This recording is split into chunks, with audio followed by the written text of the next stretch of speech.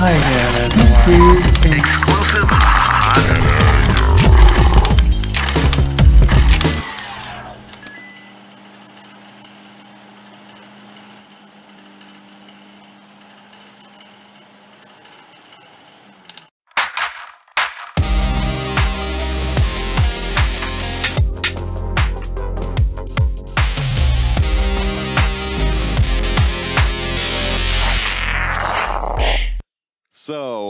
to our next talk.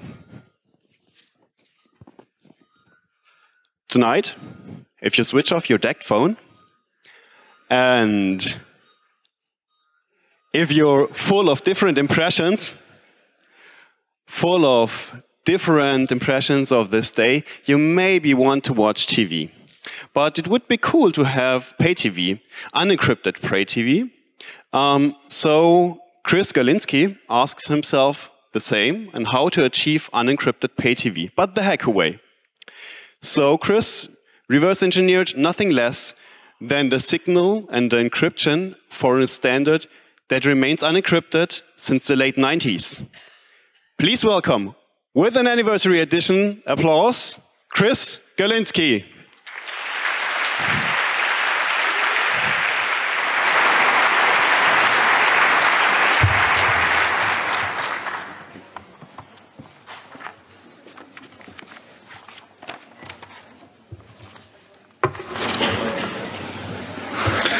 Hello, everyone.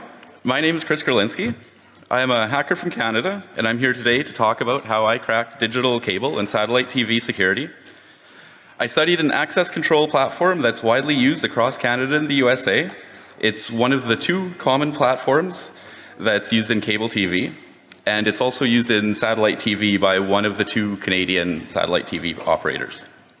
As far as I know, the system has remained secure since it was introduced in the 1990s, and I was curious if I could understand the system based on the older set-top boxes. Some of them are 15 years old, and they're still in use. So these devices haven't received upgraded security hardware in that time, and I started looking at how the system works.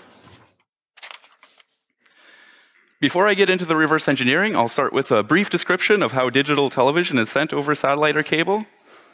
Satellite and cable digital television are pretty similar for the most part. There are a variety of signal modulations used. The relevant ones here are QPSK at about 27 megabits and 8PSK TurboFEC at about 38 megabits for satellite, and QAM 256 at about 38 megabits for cable. There's also an out-of-band channel used by cable, which is QPSK modulated at 2 megabits. This out-of-band channel carries the subscription management, program guide information, firmware upgrades, etc. And while you change channels and the cable box tunes to different frequencies, this out-of-band channel remains tuned so that the box continuously receives this data no matter what TV channel you're attuned to. In the satellite TV, this type of data is included within the main transport stream instead of in a secondary out-of-band transport stream. The video is sent as MPEG-2 or H.264 transport stream. This is a standard format for carrying video streams, so it can be played by any hardware video decoder or a software decoder, for example, VLC. And the encryption system used here is called DigiCipher 2, which does not follow the DVB standards that are used in the rest of the world. The MPEG transport stream is made up of packets of 188 bytes. Each packet has a PID. This is used to differentiate different types of data. PIDs range from 0 to hex 1FFF. Each PID carries an MPEG packetized elementary stream, that's a video or audio stream, or the PID may carry one or more service information tables. The service information tables have an 8-bit table ID and a length of up to 1024 bytes, including a CRC32 for error detection. And this table ID identifies the type of data that you can expect within the table. Table 0 is the program association table, containing a list of programs carried in this transport stream, and the PMT PID for each program. The program association table is always on PID 0. Table 2 is the program map table, which contains the list of packetized elementary streams and the PID for each, as well as an ECM PID. There's a program map table for each MPEG program or TV channel that's found in the stream. The ECM PID is where entitlement control messages are sent containing information that's used to generate the key that decrypts the packetized elementary streams. This system uses two types of ECM. Table 40, I call ECM 40, and table 41, I call ECM 41. On PID 1, there may be one or more conditional access tables, table ID number 1. These tables identify a PID that carries EMMs, entitlement management messages, these messages are used to set access rates for individual set-top boxes. The subscription information, like what channels are available, is carried inside of EMMs. This is a hardware interface to receive satellite data, uh, GenPix Skywalker 1. The DC2 QPSK modulation isn't widely supported in USB or PCI DVB-S devices, and the 8PSK TurboFEC modulation support is even less common. And one of the devices that does support these signals is this GenPix device, which is using a Broadcom BCM 4500 demodulator, and it supports both the DC2 QPSK and the 8PSK modulations. It works well. Uh, the Linux drivers need to be recompiled to include the support for these modes, and patches for this were published by Updately. There's a link on the slide. For cable, there's a variety of adapters supporting QAM256 modulation. I used a USB HVR 950Q tuner. Unfortunately, to tune the out-of-band channel is generally not supported by the off-the-shelf interfaces. Inside a cable box, it's handled within the integrated chipset, and for the clear QAM consumer devices, such as USB interfaces, access to the out-of-band data isn't actually required, and uh, so they don't include it inside of the hardware. This out-of-band data is used only for pay TV services. With the satellite and cable interfaces, DVB Snoop can be used to view a lot of information about the transport stream. It's enough information to be quite overwhelming. So the trick to using it is to being able to sift through the output for the relevant information. DVB Snoop also doesn't recognize all of the DigiCypher 2 tables, because it's a non-standard system and DVB Snoop is targeted towards the standard systems. So DVB Snoop may not be able to tell you everything about the transport stream, but it was still a very useful tool for all the information that it can provide.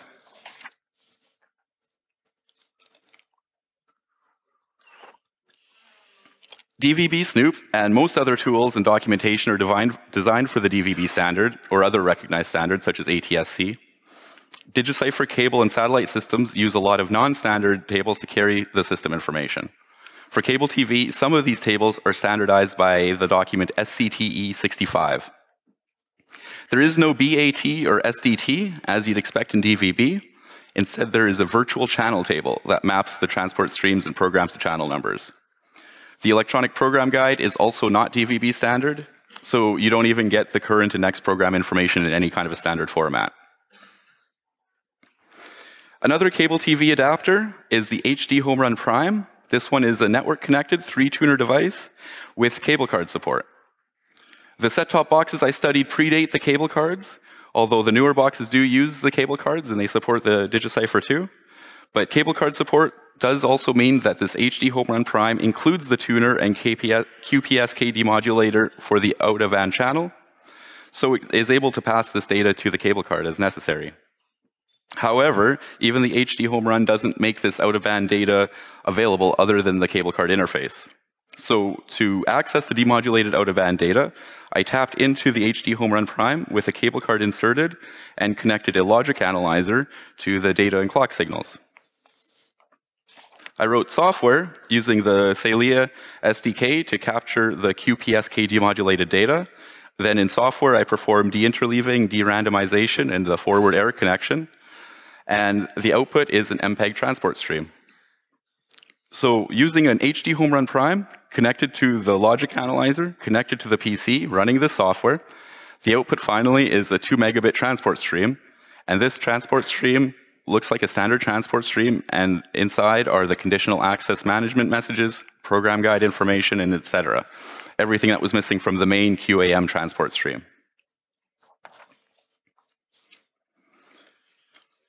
Two bits in each packet will indicate if the packet is scrambled with the even key, odd key, or not scrambled at all. The key is changed at short intervals. DVB systems typically would change every 5 to 30 seconds, DC2 every 133 milliseconds or 1 second. The key used for decryption alternates between even and odd. The odd key is in use while the even key is updated, and then the even key is in use while the odd key is updated. An encrypted transport stream is sent via the cable or satellite, and it's passed through the descrambler in the ACP, and the result is a decrypted transport stream that is played by the MPEG decoder. The descrambler uses a working key. This is a 56-bit DES key that changes every 133 milliseconds, or in some cases they have it slowed down to changing every one second. This working key is generated by encrypting the frame count from ECM40 packets with a program key. The program key, again DES, comes from the ECM41 message and is encrypted with a category key. The program key is unique to each channel, and it changes daily or for every pay-per-view event. The category key, also DES, is shared by all the set-top boxes that are authorized for any channel from this provider. The category key is sent to each set-top box individually inside the EMM95 message, and this category key typically changes monthly but many cable operators change keys much less frequently, some of them using the same key for years at a time. To decrypt the EMM, in order to get the category key, seed keys are used. Each set-top box has a set of 56-bit DES seed keys inside of battery-backed RAM. These are initialized during manufacturing. For the lifetime of the set-top box, these keys are used to secure EMMs. So this forms a chain from the seed keys initialized during manufacturing and never changing to the decryption of the MPEG transport stream. Inside a set satellite set-top box, we can see the main components of the system. The signal enters the tuner and is passed through the demodulator, which outputs a serial transport stream. This transport stream passes through the ACP, access control processor, and is then sent to the MPEG decoder to output a video signal to the TV. A 68K microcontroller acts as the set-top box main controller. It communicates with the MPEG decoder as well as with the ACP via an SPI bus. A battery provides backup power to the ACP, so it will retain RAM contents even when the set-top box is unplugged. There's a TV pass slot near the power supply. This is an upgrade slot with a card edge connector to allow for security upgrades. The system stayed secure, so the TV pass slot was never used, and the newer set-top boxes don't actually include a TV pass slot inside. So at this point, it seems quite unlikely that this TV pass card will ever actually be used. Inside a cable set-top box, it's very similar to a satellite set-top box, but the cable boxes tend to be more tightly integrated. Signal enters the tuner and passes through a Broadcom chip that handles demodulation, and the same chip will also handle MPEG decoding after the transport stream has been decrypted by the ACP. A 68K microcontroller acts as the set-top box main controller, again talking to the ACP via SPI. And a battery provides backup power to the ACP and also to the non-volatile RAM used by the main controller. A TV pass slot is underneath the main board. It's not visible in this photo. The cable set-top boxes include a second tuner that's used to receive the out-of-band data. This out-of-band tuner operates independently of the main tuner and on a separate frequency range, and it's used to provide a transport stream containing the system information with the program guide, firmware updates, EMMs, etc. Here we see the ACP chip. It's a 100-pin TQFP package. From the markings, we can see it's a custom system on chip made for General Instrument Corporation, GIC. All the decryption is performed by the ACP, and all decryption keys are kept only within this chip. The newer set-top boxes use newer versions of the ACP. I studied the original ACP chip that's seen in this photo. As long as the set-top boxes using this chip are actively used, it remains a relevant target. Whether the newer ACPs include more advanced security features, or if they exist only for cost savings due to shrinking the die size, I don't really know. Some of the interesting pins on the ACP are labeled here. Pin 1 is marked at the top left corner of the chip. There's an SPI slave controller on pins 1 to 5 used for communication with the set-top box main controller. There's a battery backup pin that's connected to a 3 volt battery to keep the RAM contents of the ACP intact at all times. There's a serial transport stream input on pins 88 to 92, which receives the data from the demodulator. And there's a serial transport stream output on pins 28 to 33, which sends the decrypted transport stream from the MPEG to the MPEG decoder to be output to the TV. At one point, I had written software for an AVR32 device, not the one that's shown here, that has a synchronous serial peripheral that supports sending and receiving data at the 27 megabit rate of the transport stream. My AVR32 implementation turned out a bit ugly, uh, but rather than cleaning it up, I was able to, to use it as it was. It had some limitations, like only accepting 64 kilobytes of data for replay and logging, which was just barely good enough for my studies. What the transport stream logging in circuit did show me was that the transport stream passes through the ACP with selected PIDs being decrypted, and then the output is the full transport stream, but a selected program has been decrypted. The AVR32 logging interface had rather limited use for me. Later on, when I did more thorough research, I did so using an ACP that I had removed from the box and I put on a breakout board, and then I could control the clock. And at that point, it was much easier to use an XMega AVR platform to send and receive the transport stream through the ACP at a much slower bit rate. Shown here is the XMega platform I settled on using for SPI and also the transport stream interfacing. To monitor the data passed between the set-top box main controller and the ACP on the SPI bus, I used the XMega development board. Two SPI ports acted as slave, with the master out slave in signal connected to one, and master in slave out signal connected to the master out slave in input of the second port. So from one port, bytes sent by the set-top box controller are received. From the other port, it receives bytes from the ACP. In case I want to talk directly to the ACP or the set-top box main controller, it's only necessary to connect both the MOSI and MISO signals on one of the SPI interfaces. By holding the main controller in reset, my XMega was able to act as the SPI master and then talk to the ACP. So this set-top works for passively monitoring the SPI communications in the set-top box and can also act as the SPI master for interrogating the chip directly. By logging the SPI bus between the main controller and the ACP, we see that information about the current access levels is sent from the ACP. The ACP also receives EMMs via the SPI bus. EMMs have been filtered by the unit address number, or the set-top box serial number, so the ACP only receives messages that are intended for that specific unit. Command 04 includes the current category key epochs and key selects in use. Command 05 includes the unit address number. Command 13 returns the authorized subscription tiers for this unit. Command 7 and 87 provide information about the channel being currently decrypted. Additionally, via the SPI interface, the set-top box main controller tells the ACP which PIDs to decrypt and which is the ECM PID. The ACP doesn't send any keys on the bus, and it only receives category keys that are encrypted within EMMs via the SPI. So all of the really interesting data is contained within the ACP chip itself, and it's never sent out on any kind of a bus. So next I started an invasive study of the chip, studying it under a microscope. The cost of microscopes can range from hundreds of dollars to tens of thousands of dollars, or even higher for things like electron microscopes or other specialized equipment. Though I have a couple of microscopes that I use. This one is the Mitutoyo FS70 microscope. These Mitutoyo are often used for microprobing, but you can also use it for other uses. For this project, I didn't do any microprobing, but I, I used this microscope because it was what I had. For studying this kind of technology, you could use even more basic equipment, but of course, if you have the higher end equipment, it's a lot nicer to work with. Another microscope I use is the Zeiss Axiotron.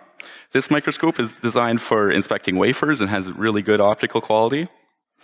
I said that more basic equipment could be used, and it's true, but when you get into this kind of thing, you might find yourself again and again investing in more equipment.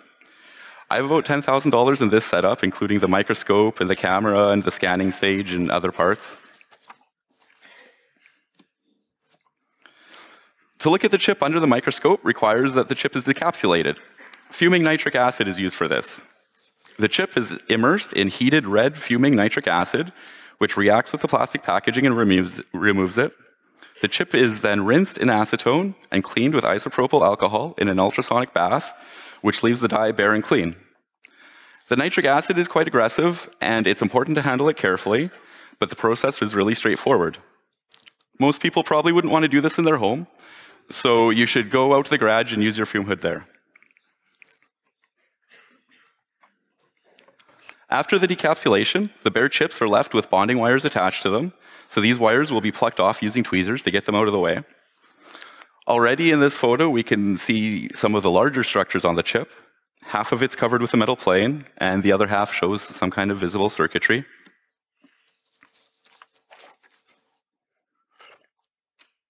This is an image of the chip under the microscope.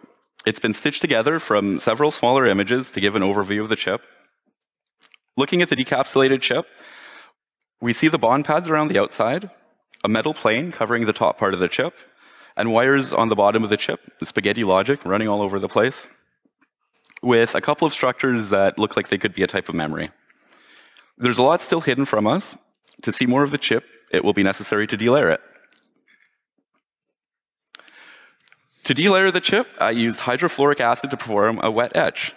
I used the Wink Rust Stain Remover product. It's available in hardware stores all over the USA.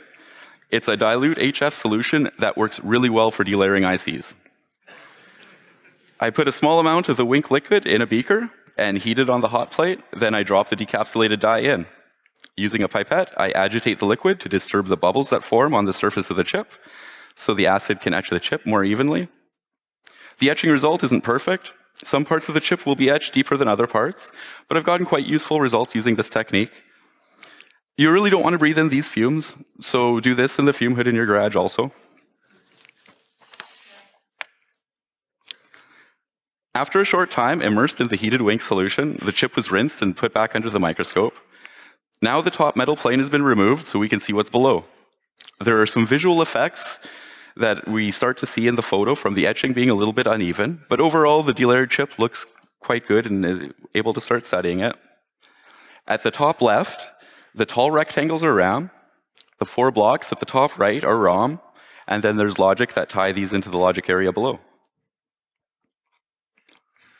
I was interested in finding how the bits were encoded in ROM, so I continued delayering the chip.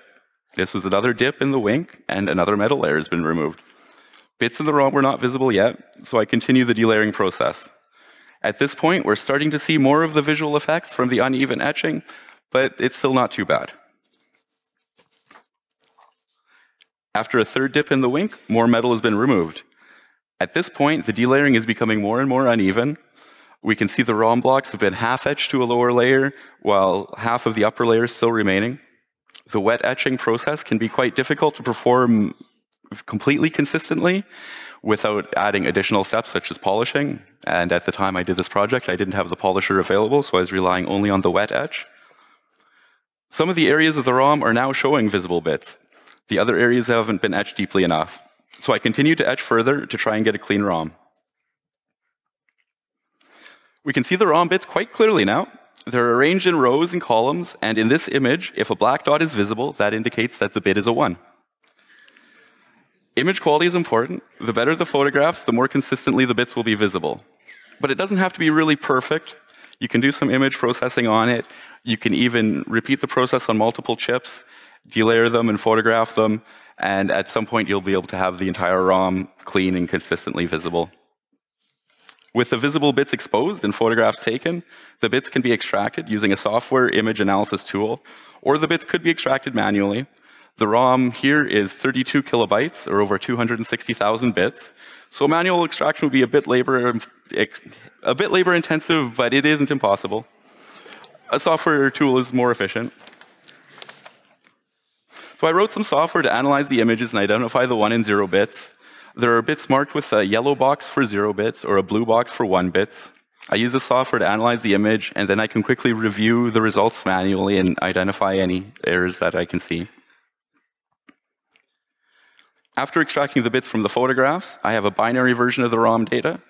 This is a visual representation of the bits extracted from this piece of ROM.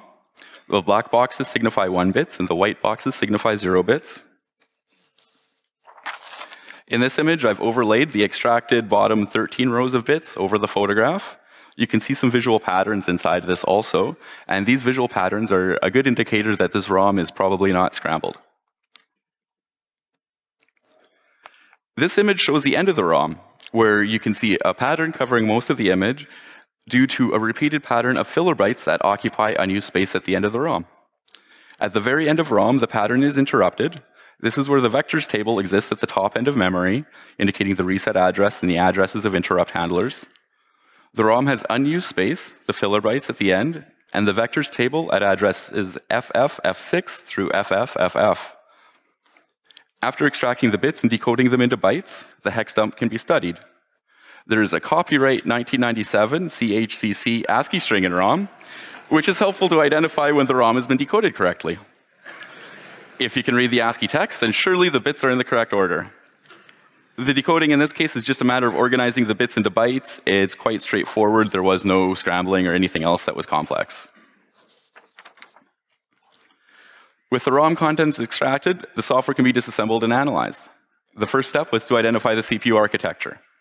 Studying the binary dump, it appeared to be an 8-bit CPU, but wasn't 8051 or 6805 or any other of the processor types I tried first. Eventually, I tried disassembling a 6502 and the code made sense. Later, I had remembered that I had looked at a previous version of the access controller from the same manufacturer, which was used in another system, VideoCypher 2 Plus, an ancestor of DigiCypher. On the older chip was a copyright notice from WDC, who licenses the 6502 core IP. It was vis visible directly on the chip die under the microscope. So this would have been a great clue for the CPU architecture if I'd actually noticed it earlier. For disassembly, I used IDA. It supports 6502 and is, of course, a very powerful disassembler. In addition to disassembly, I used 6502 simulation software to study the software in a virtual CPU.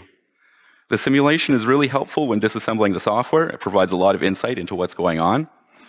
Since 6502 is a very well-known architecture, it was not at all difficult to find an existing simulator, even free, with source code. The 6502 was used in 8-bit computers like the Apple II and Commodore 64, so there's really a lot of enthusiasts and a great deal of information about this architecture. As I gained understanding of the system on chip through disassembling the software, I began adding some of the features into the simulator to emulate some of the hardware peripherals that were found inside the ACP device itself.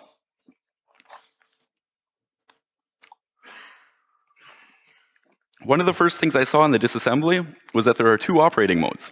During startup, values in RAM are checked, and if the ACP hasn't been initialized, it enters the personalization mode used during manufacturing to assign the unit address and seed keys.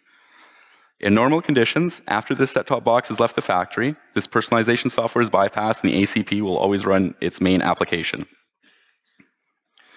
The next thing I found was the application wasn't very simple. This 6502 actually runs a task switching operating system. Eight tasks are run, supporting decryption of up to two channels at the same time.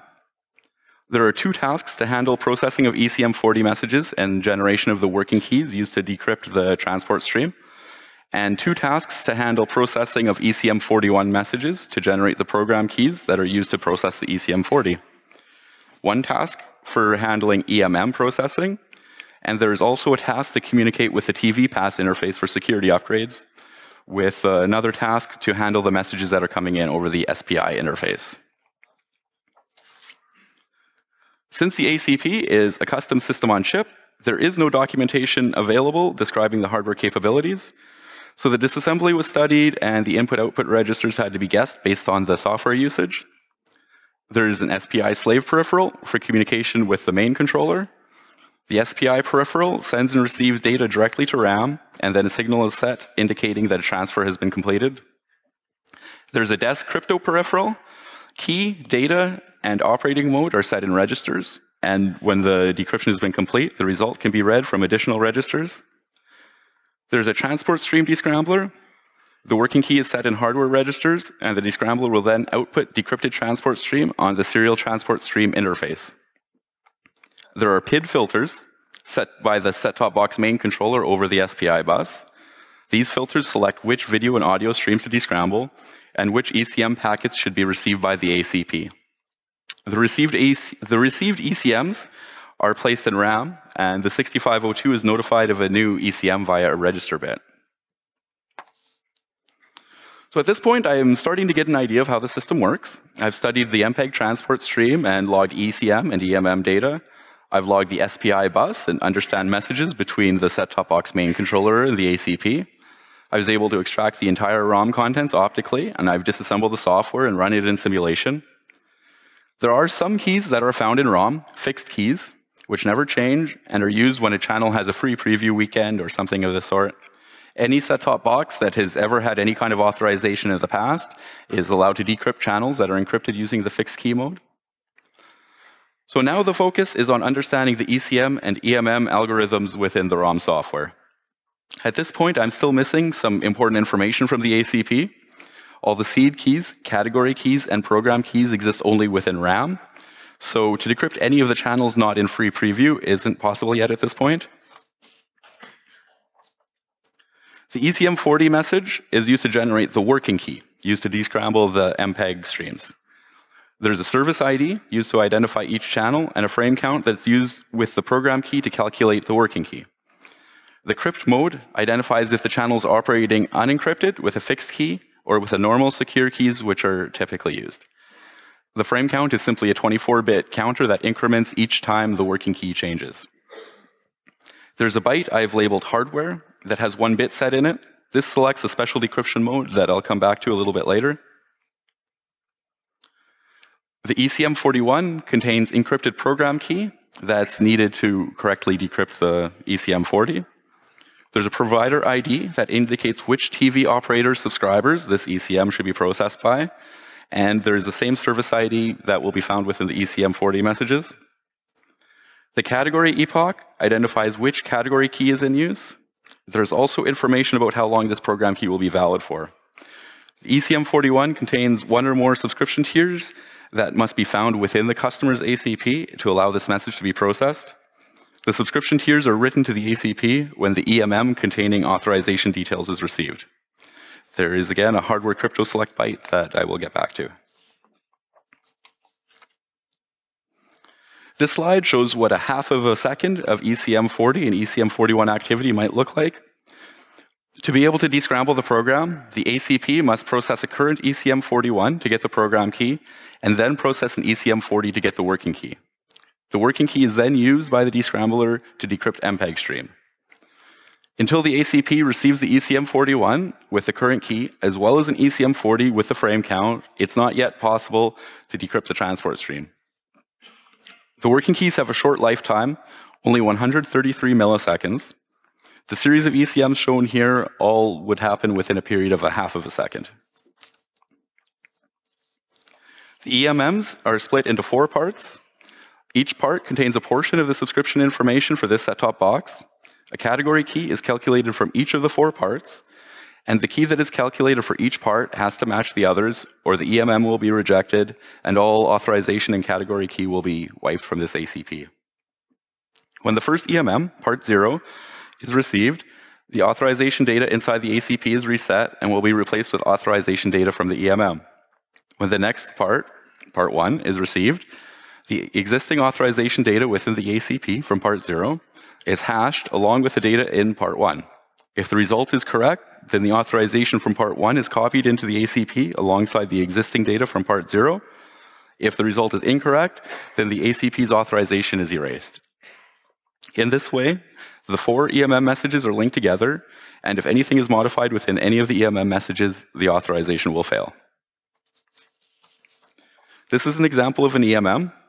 Each of the four EMM parts contains some common information like the unit address and which category epoch this EMM contains information for. The EMM can contain two category keys, one for the current epoch and also for the next, so that when there's the change of the category key, the ACP already has the next key available.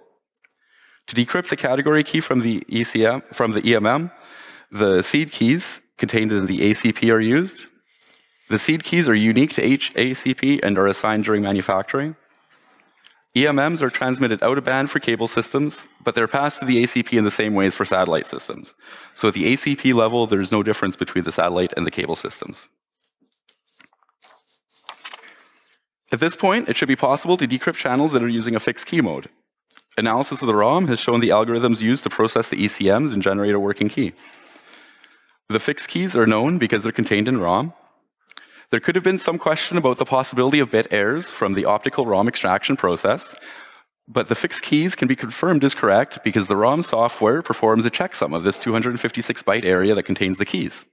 Successfully running the checksum on the extracted ROM data indicates that the extracted keys seem to be correct.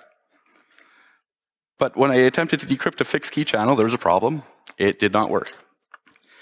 Whether it was a bug in my decryption implementation or something else was unclear. However, I had noticed the bit in ECM40 was set that causes a bit within the ACP hardware peripherals to be set. The purpose of the bit was unclear, but its address was suspiciously close to the transport stream descrambler key, so I start to suspect that there might be some encryption other than just standard DES. To be able to learn more about the ACP, I started to look at glitching the chip. If I can succeed to glitch the chip, I may be able to find a way to read and even write memory, and possibly a way to run my own software directly on the chip. This would allow me to control the hardware peripherals and be able to observe the chip's operation under different conditions. Timing tests of the ACP suggest that the 6502 is running from an internal clock source, so this ruled out a clock glitch attack. A VCC glitch makes sense, and with the age of this chip, it seemed reasonable to expect that it would be susceptible to VCC glitches. The stronger protections against this type of attack are relatively recent. My glitcher design is quite simple. It's based on an XMega development board and breadboard. I use the XMega to communicate with the ACP over SPI and to control the glitch. A 74 series 4053 analog switch is used to quickly switch the ACP VCC between two voltages a normal operating voltage and a lower glitch voltage. I use a benchtop DC power supply and two outputs, so I can easily adjust both the normal VCC and glitch VCC levels. Other parts on the breadboard are an oscillator to provide some clock inputs necessary for the ACP to operate, and an inverter and NAND gate to cut out the clock during the time of the glitch. To simplify the test setup as much as possible, the ACP was removed from the set-top box and soldered to a breakout board. So in this process, the battery-backed RAM was disconnected and all the keys were lost. But for the purpose of developing a working glitch, this was okay. This simple breadboard-based glitcher is quite flexible. The breadboard can be modified to test different ideas and reconfigured quickly. More complex and advanced glitcher wasn't necessary. To test the glitcher to find out if it will work and what voltage levels are successful, we can send a command to the ACP, then glitch, and then see the response from the ACP. The general strategy is to lower the voltage just to the point where the chip sometimes resets due to the glitch. By adjusting voltage levels and glitch length and timing when the glitch will land, I succeeded to cause ACP responses to be altered. The checksum on SPI packets is very convenient. When unusual data is received from the ACP chip with a valid checksum, it's a pretty good sign that the glitch caused a temporary fault within the CPU, but that normal operation was resumed. Depending when the glitch is delivered, different effects are seen. We can see that generally, as the glitch is moved later, it's the later bytes of the response packets that change. So at this point, it looks like the glitcher works and is able to cause a brief fault. Since I had an effective glitch, I took the circuit from the breadboard and etched a simple PCB that could plug directly onto the XMega development board. This performs exactly the same function as the breadboard glitcher, but I'm a bit less likely to accidentally unplug a wire from the breadboard and have to repair things. The circuit was simple enough that I could create a one-sided PCB, so it was very easy for myself to etch at home. Now my goal is to have the ACP execute the code of my choice. Because the 6502 is a von Neumann architecture, all code and data memories share the same address space. From software disassembly, I saw that there didn't appear to be any paging or MMU features. The software in ROM is fully self-contained, there is no EEPROM, and RAM is never used to hold executable code. So there aren't jumps into these areas to exploit, and in fact, it wasn't clear if there's anything preventing code execution outside of ROM. I decided to take a chance and test if RAM is executable. So I send a message via SPI, knowing that this message will be stored in RAM. The message contains 6502 executable code that will copy itself to an unused area of RAM, execute from this area, and send an ACK indicating it was successful. Because I studied the use of the SPI interface in the ROM code, I'm able to create this executable payload that will continue to receive commands via SPI after it's taken control of the ACP. To try to maximize chances of success, I looked through the ROM code for multi-byte instructions, which if broken up would have contained within them a jump opcode with a destination that should lead to where my executable payload was placed in RAM. Since the ACP has a single address space, this gives a lot of opportunities for glitching to cause execution to reach the payload. There are multiple scenarios possible in addition to my selected glitch target. Stack corruption is a possibility, and really any abnormal program flow has some possibility that it could eventually land in my code. The von Neumann architecture without strong memory management is a very fertile ground for glitching. Anything in RAM potentially could be executed. So at this point, there are several uncertainties, but so far nothing totally rules out the possibility of success. The ACP operates from an internal clock source, and the interrupt-driven task switching does add some further timing uncertainty. So I will send the code payload, delay, then glitch, and see the result. When it's unsuccessful, I change the delay and I try again. I try to aim for the instruction that I've identified as possibly corruptible into a jump, but there are a lot of unknowns, so really the process is like fishing. Throw out a line and hope. I have a target, but no way, if I, no way to know if I can really hit it or if it will have the expected result. But sometimes fishing is good. Relatively quickly, the ACP returns an ACK indicating a successful glitch. The first successful glitch took some hours to find, and then after this, it was possible to make it work repeatedly in a matter of minutes or even seconds. So now I have my code executing in RAM. I'm able to send the ACP additional pieces of code to be executed. This allows me to read any memory address, write any memory address, and perform any other operations possible with a 6502. I wrote a simple application to perform glitch searches and then to interact with the code payload backdoor installed in RAM. This program allows me to enter an address and length and have data returned, or write to memory, etc. There's also support for setting the key in data and performing DES encrypt or decrypt using the DES hardware that's inside the ACP. A few things I noticed at this point. There is a two kilobyte area of ROM that if I attempted to read it, caused the chip to reset. This area of ROM contains the personalization routines that are never normally used after the device leaves the factory. There's also protection against modifying the seed keys in RAM. Trying to store a value to these memory locations appeared to do nothing. There are specific addresses within RAM that can't be read or the chip will lock up. These are clever traps put in place as a security measure. The 7-byte, 56-bit keys stored in RAM straddle these dead addresses. So a potential exploit that could cause a linear dump of memory will be stopped before a complete key is ever read. When the chip is reset, it means having to glitch in again because my code payload exists only in RAM and there is no way to hook in a permanent backdoor. Since we can execute code on the ACP and receive a response, we can read the ROM to have its contents without any of the errors that were introduced during the optical extraction process. Comparing the results of the optical ROM extraction with a proper dump, we can see how many errors were in the optical extraction. Overall, the optical extraction was quite good. It was, after all, good enough to understand the software and get us to this point. There's only one byte with more than a single incorrectly flipped bit. Many of the errors that existed were quite obvious when disassembling the software, if an instruction is out of place, but flipping a single bit would make it sensible, then it was probably a bit error. I didn't keep detailed records, but I think I probably caught about half of the ROM errors during the disassembly process before I started glitching. The interesting keys in the ACP are all stored in RAM only. This includes working, program, category, and seed keys. The RAM is battery backed. If the seed keys are ever lost from RAM, this ACP can no longer process EMMs and so is useless.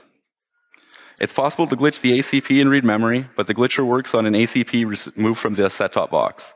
When the ACP is in circuit, the, the, connections to other components and 16 VCC connected pins pose a problem. To glitch the ACP in circuit will require some modifications to the set-top box, disconnecting the ACP from other parts. Or another alternative is to remove the ACP from the set-top box and place it on a breakout board without losing the battery power and wiping RAM.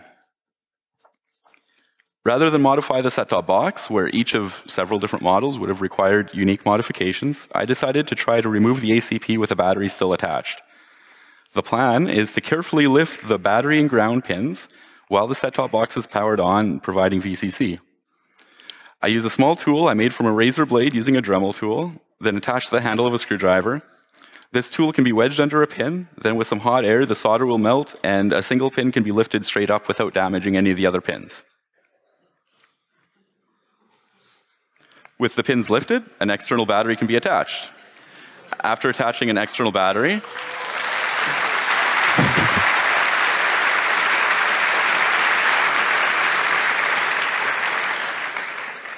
After attaching an external battery, the set-top box is unplugged and the ACP can be remo removed from the set-top box using hot air. The ACP can be removed from the set-top box, glitched, and can even be placed back in the set-top box if desired. To do this, I just use hot air and a lot of flux. Additionally, once the interesting keys have been extracted, it might not even be necessary to replace the ACP in the set-top box. The ACP is now placed on a breakout board and connected to the glitcher. Not all of the pins need to be connected. Only a handful of pins are actually used by the glitcher. You can also see at this point the glitcher is in a project box. The aesthetics greatly improved since the the breadboard-based glitcher, but the functionality is identical. The timing of ACP responses is different on a chip with valid RAM compared to the previous chips that I'd glitched before. I didn't confirm whether the cause of the timing difference was due to a different oscillator configuration or just a different software path. But by adjusting the timing of the glitches, the executable code payload runs as it did on the previous chips. So now we can read the RAM contents of a valid ACP, including the category keys, if the set-top box had current authorization, as well as the seed keys that are used by this ACP to decrypt EMMs. Without a with a valid category key, ECMs can be decrypted and a correct working key can be calculated for any channel. Now, with the capability of running my own code in the ACP, it's time to look at the transport stream descrambling. There's a hardware register bit that's set or cleared based on a byte in the ECM40. When this bit is clear, standard DES decryption is used. When the bit is set, the transport stream descrambler acts differently. Additionally, there's an 8-bit hardware register in the DES peripheral area. When it's zero, the peripheral operates as standard DES. For any other value, the peripheral acts differently.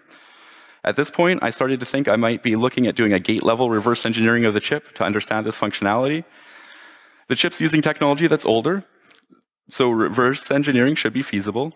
But if possible, I'd like to avoid all this extra work. It would be quite time consuming and might give imperfect results similar to the optical ROM extraction. So I start with trying to characterize the scrambling modes. The transport stream packet is made up of a 4 byte header and 23 blocks of 8 bytes each. The DES operates on these 8 byte, 64 bit blocks. By flipping one bit in encrypted input, ECB, CBC, or OFB modes can be differentiated. Flipping one bit causes an 8-byte block to be corrupted and the corresponding bit in the following block to be flipped. This indicates CBC mode is in use. Timing of the input compared to the decrypted output was measured with the descrambler in standard DES and in the custom hardware mode. No timing difference was seen. This suggests the internal properties of DES haven't changed, which makes sense because the decryption has to be done in real time. So this suggests that crypto customizations are not affecting some DES internals like the number of rounds. Also, by using an ACP as a decryption oracle, I determined that the customization affects each of the 23 blocks of the transport stream differently. Next, I tested the software using DES weak keys. These are certain keys not recommended for use with DES because their properties weaken the cryptographic strength. A key of all zero or all one bits will cause DES decryption and encryption to be identical. That is, running the same data through encrypt or decrypt will give the same result. I can test this on an ACP configured for standard DES decryption and see the expected weak key behavior. When tested with the descrambler in custom mode, the weak key behavior changes. Using a key of all zero or all one didn't produce the same results in encrypt and decrypt modes. Looking at the other hardware register, testing the DES peripheral with different values in the 8-bit register and using weak keys shows that the standard DES weak key behavior still exists. So my hunch at this point is that one customization affects the key and the other customization affects the data. At this point, I can't be certain, but I have a good feeling about the theory, so I continue to investigate. Based on the idea that the hardware customization affects only the key and decryption is static, I thought the simplest customization would be an XOR mask that's applied to the key before it's used for DES decryption. XOR requires only a single gate in series with the DES engine, so it fits the requirements of fast and very simple to implement in hardware. A change of even a single bit in the key could cause the observed effects. Flipping more than 28 bits would be pointless. That's the same as inverting a key and flipping fewer bits. More flip bits means more gates necessary for the customization, so it makes sense to flip a minimal number of bits. So I wrote this wonderful for loop nested 16 levels deep to test decryption results after flipping one bit of the key, then flipping two bits, then three bits, and so on up to 16 bits. To test all the possible keys will take a long time, but if only a few bits are flipped, then it might be possible to run in a shorter period of time. And promising results did come quickly. It turns out the theory held up, and some of the blocks have as few as three bits flipped. This takes only seconds for the software to identify. After verifying that these worked for XOR masks for these blocks, the software then was left running to find all 23 masks. The simple brute force method worked. It ran for a couple of days to identify all the 23 masks. By more carefully analyzing which bits are being flipped in the early results, a pattern can actually be found, so the search could have been more limited. Using this technique, the software cracker could have completed it in under a second. After successfully solving the first hardware customization, the theory that the second customization is a data XOR looks promising. It makes sense that one or more XOR gate is enabled by each bit of the 8-bit hardware register. Using the ACP as a decryption oracle, a known key and data were decrypted with all values of the 8-bit register. Software attack of this function was successful, and 255 XOR masks were identified, behavior matching what was expected. I haven't actually seen this customization in actual use. Presumably, they're saving it to be used as a countermeasure against pirate devices when necessary but it hasn't been necessary since the system never had a security breach.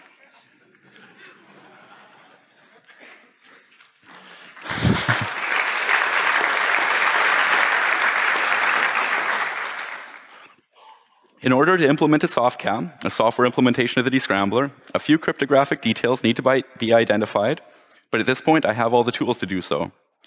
The initialization vector used for CBC mode can be found through a simple XOR, and the handling of short blocks, those less than the 64-bit DES block size, can be identified likewise. With all these details, a software implementation of the EMM decryption of category key and ECM decryption of program key and working keys can be made, and the transport stream descrambler can also be implemented in software. The rapid key changes in use of DES with hardware customizations makes it a bit different to implement compared to a softcam for typical DVB systems, but overall the concept is the same. And now it's all working. I was able to test it, and it's fully working on both the satellite and cable systems. This is a screen that's broadcast before a pay-per-view event goes live. The pay-per-view, like all other channels, can be decrypted with a softcam using the algorithms learned in these keys that were extracted. With the ECM and EMM algorithms and seed keys for a set-top box with any level of authorization, the category key can be decrypted and then used to decrypt any and all of the channels that are broadcast by this provider.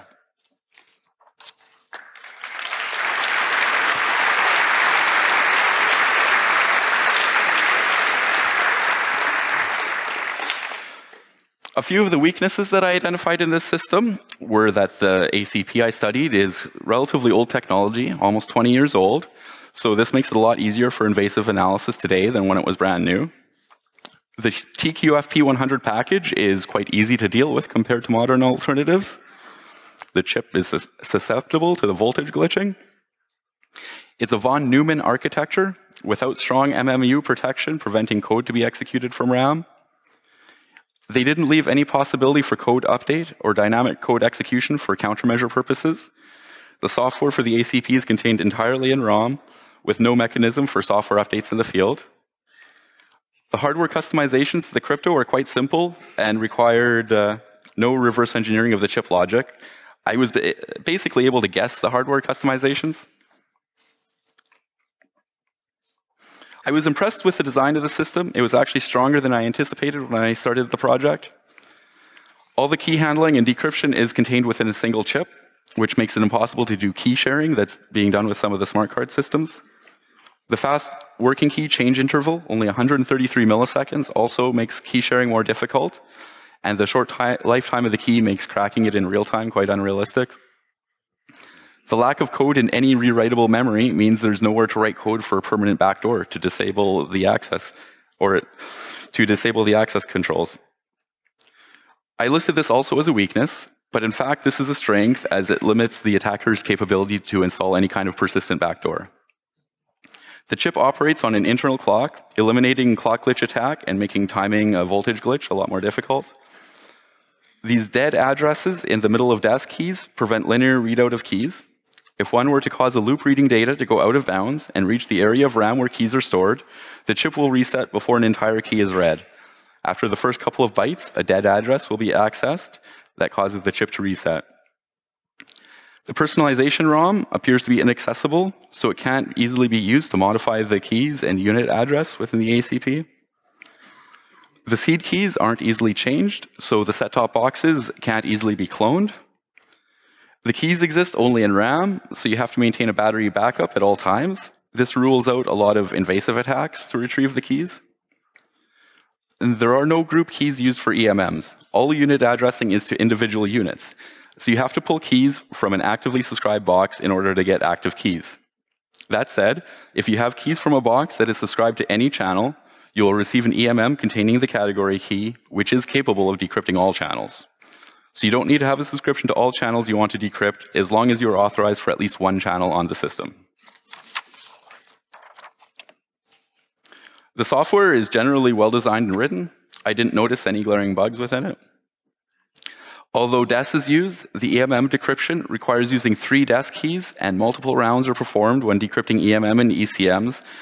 So this part isn't as simple as cracking a single 56-bit key. Brute forcing starting from the encrypted transport stream requires cracking working key, then program key, then category key, and finally the three seed keys.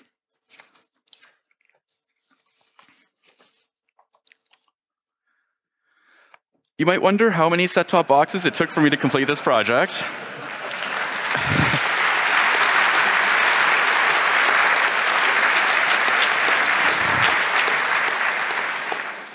The truth is, I only needed the one uh, truckload. Some of the boxes had different versions of the ACP chip. Many of the boxes had different PCB layouts, so it was interesting to be able to look at a variety of boxes. The cost of used set-top boxes was low, around $20. And for this research, I was focusing on the signal security and didn't need the PVR functionality or any of the advanced features from the expensive set-top boxes. So at this point, I have a brief anti-piracy message. I don't recommend you pirate cable or satellite TV. There's never anything good on. It doesn't matter how many channels you can decrypt. Believe me, I looked. It's not worth the effort.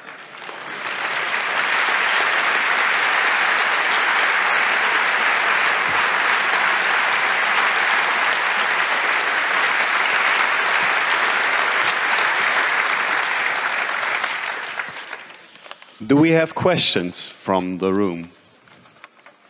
Questions, please use the microphones. I know there is one question from the interwebs. Okay, hello. Yep, this is working? Good.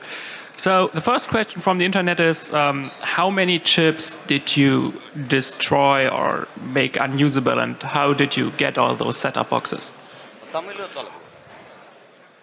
Because the cost of the used set-top boxes was quite low, I wasn't afraid to uh, destroy several chips in the process. Um, it didn't take as many as I would have expected in the beginning. Two or three chips were used to, uh, for the decapsulation and the delayering process. I ended up extracting the ROM from a single chip. And then when it came to glitching, there were three or four chips that I removed and erased the RAM from to develop the glitch. When I finally got to the point where I was extracting keys from a valid chip, the very first chip that I tried worked, so there were few casualties involved. Thank you. Um, microphone three was the first one, please. How many years did this project take you? I would work for a few weeks at a time and then get burnt out and take a break and then come back to it. Uh, most of the work for the project was completed over about a two-year period. Thank you. And microphone two, please. Uh, hi. Thank you for a great lecture.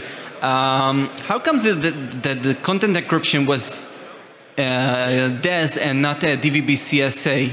Because we used to usually that content is encrypted with DVB CSA in these DVB systems. In, in North America, we don't believe in standards. Okay. Thanks. The, the, timing was also a part of it. The, the, system was being developed at the same time as DVB was being standardized. Um, so General Instrument, rather than going along with the standards group and waiting for the standardization, they went with DES directly. Thank you. And another one from Cyber Cyber Space Cyber. Oh, okay. Another question from the internet is: um, You had all this fancy like lab equipment and stuff. How were you able to afford that? I've been quite interested in this for a long time, so I've collected this equipment over, over a period of years. Uh, and I do some work professionally in reverse engineering, so whenever possible, I use a client's money to buy another piece of equipment for the lab. To, to do this actual work, though, you could even use more basic equipment because of the age of the chip you could use a, a, microscope that you could find easily for 1,000 or $2,000 or even less and have quite good results. So it, it's not trivial, but it's not a huge amount of money for lab equipment. Not that huge. Microphone two, please. Um, what do you do for a living besides uh, reverse engineering? Reverse engineering. Thank you. And the internet, again. Okay. Uh, next question is um, you uh, or somebody wants to know um, how or which software did you use for the uh, automated image analyzing, and is it available somewhere? Uh, like everybody else that I've known that's done optical ROM extraction, I developed it myself. Everybody seems to develop their own tools from scratch for that. Uh, the image processing I used was really quite simple, so it didn't, it didn't take a lot of advanced algorithms or anything like that. So I, yeah, I'm using some software I developed personally and hasn't been released. Microphone two, please. Uh, and how did you keep the box, uh, boxes um, subscribed? So did you call them every week? Oh, my box broke down. I got another one, or how is this done? For most of the research that I did, I didn't need an active box. Ah. I, I, did all the research just on uh, previously activated boxes that, that had lost their authorization. And by the time I had the process figured out that I knew how to extract keys from a valid box, I only needed the one box. Yeah. And had you heard back from the um, cable provider about this? No. Hmm. Okay, thank you. Microphone three, please. Hello, thanks very much for the lecture and well done on all the work. My question is how does the glitching work, the glitching attack? Uh, for the glitcher, I, it was, was quite simple. I, I dropped the uh, voltage for a very brief period of time, and it's enough time that it causes at least one instruction to not execute properly, but it's too short of a time to cause the chip to reset. So essentially, I, am corrupting one instruction. As far as the specific target that I hit that led to my code in RAM, I'm not actually sure. I, I found that if I glitch it this time, then the code ends up executing my code good enough for me. Okay, thank you, Chris. Please, dear audience, give an anniversary edition applause to Chris Gerlinsky.